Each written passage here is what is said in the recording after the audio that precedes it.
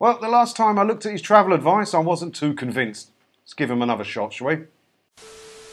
Hi, John here again with a Spainiacs, and everybody's favourite travel expert, Simon Calder, has got some more advice for us about travelling.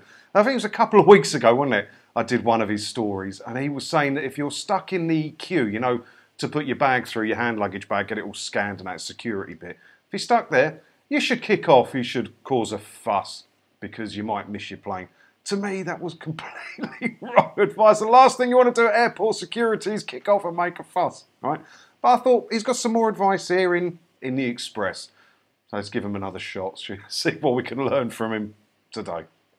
Simon has visited over 100 countries and describes himself as risk averse. He shared his safety checklist with the Express. I also identify as risk averse, and I think most people would, wouldn't they?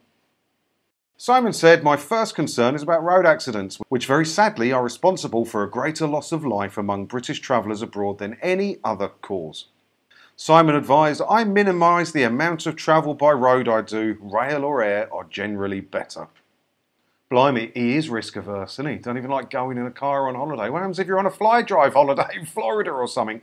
That's going to be a long walk, Simon. I mean, I like to rent cars when I go places because you get to see more and do more. And some countries are safer than others. I've had plenty of incidents. I think Serbia wasn't a dream holiday for me in a car.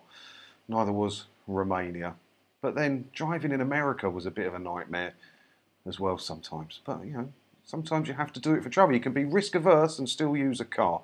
remind me not to go on a fly drive holiday to Florida with Simon Calder. What else has he got to say? The next thing I do is remind myself about riptides because we're just getting into the kind of peak holiday season. It's really, really good to remember the basics of swimming in the sea, which you can research very easily online. Why should we research it very easily online? You're here giving us advice about riptides. Tell us what to do, Simon. There are some good sources of information about how to read the tide, and if you're caught in one, how to respond safely.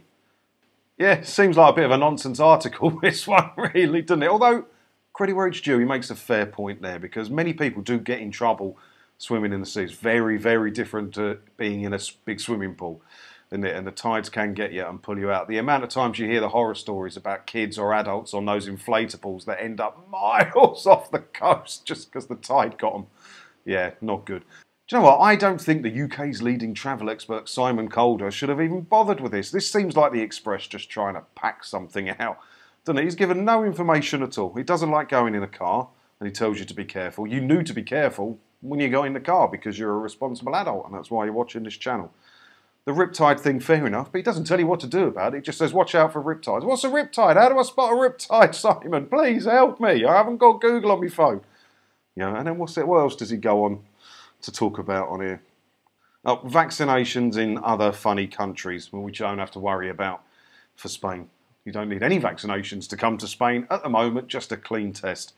So that's good. But yeah, I, he comes out with all these things. I think the worst one that I've heard him come out with was a couple of weeks ago when, it, like I said at the beginning of the video, if you stand in the security queue and you've been there a while and you're going to miss your flight, kick off, cause a fuss.